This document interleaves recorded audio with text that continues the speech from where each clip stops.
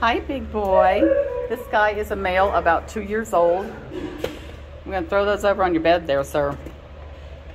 This looks like it's blown up a little bit. Let's bring you down just a small bit because you are a bit of a big boy. And you're right there next to me. So this guy um, came in on 721. He's absolutely gorgeous. He is located at Animal Care Services in San Antonio, Texas.